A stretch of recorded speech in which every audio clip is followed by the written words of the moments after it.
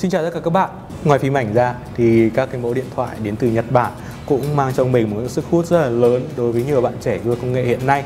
Nó không chỉ hấp dẫn các bạn bởi các vấn đề về giá rẻ, mà bên cạnh đó, nhiều nhà mạng ở phía bên Nhật, nó thường có sở hữu cho mình một số mẫu máy độc quyền của mình, rất là độc đáo và hay ho, mà bạn không thể tìm được ở bất cứ một nơi nào khác trên thế giới. Và ngày hôm nay, mình sẽ giới thiệu đến với các bạn một cái mẫu máy như vậy. Đó là một chiếc smartphone đến từ Sony đó Xperia ZL2 và đây là phiên bản được Sony làm riêng cho nhà mạng AO của Nhật.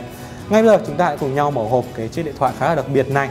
Và ngay từ đầu, khi các bạn cầm cái hộp lên thì nó là hộp bìa và hộp nó là làm khá đơn giản. Ngay khi mở hộp ra thì cái điều đầu tiên các bạn sẽ thấy đó là chiếc điện thoại ZL2 của các bạn nằm ngay ở trên mặt như thế này. Còn ở dưới này thì các bạn sẽ có kèm theo một số phụ kiện của chiếc máy này. Ngoài một đập rất là dụng bằng tiếng Nhật ra. Đương nhiên rồi vì đây đó là máy nội địa. Thì các bạn sẽ còn được tặng kèm một cái cọng dây chuyển tai nghe. Thực ra thì mình không biết là chức năng chính của cọng dây tai nghe này là gì mà chắc chắn nó sẽ liên quan đến tình kế những loại tai nghe chống ồn, bởi vì nó có, nó là dạng rắc năm chân, như các bạn nhìn thấy rõ trên hình này. Và đó là tất cả những gì mà các bạn sẽ được tặng kèm với chiếc Xperia ZL2 này đây đúng là truyền thống từ trước đến nay của những cái mẫu máy từ phía nhà mạng này. Các bạn sẽ chỉ có máy thế mà thôi. Và còn lại thì một kiện rất là nghèo nàn. Và khi các bạn mua máy tại Cellphone thì các bạn sẽ được tặng kèm theo với sạc và cáp. Và ngoài ra thì các bạn sẽ còn được tặng theo cả một đốc sạc từ dành riêng cho chiếc ZL2 này. Và đây là chiếc ZL2 mà mình đã giới thiệu với các bạn lúc nãy. Cái phiên bản nó cầm trên tay hiện nay nó là màu trắng về cơ bản thì ZL2 nó bộ máy thu nhỏ của chiếc flagship Xperia Z2 mà trước đây Sony đã giới thiệu rộng rãi tới thị trường hiện nay.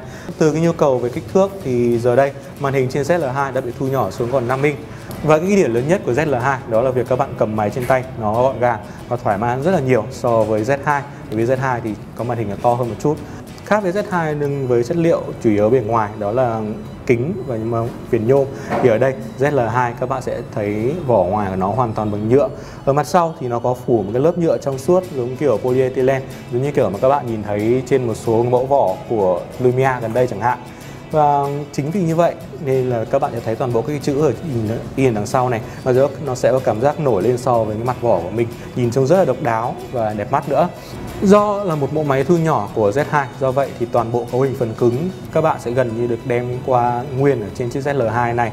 Các bạn sẽ có một chiếc máy thu nhỏ với cấu hình sử dụng vi xử lý Snapdragon 801 tốc độ 2,3 GHz, RAM 3GB, camera chính có độ phân giải 20,7 megapixel và đi kèm với đèn flash đằng sau.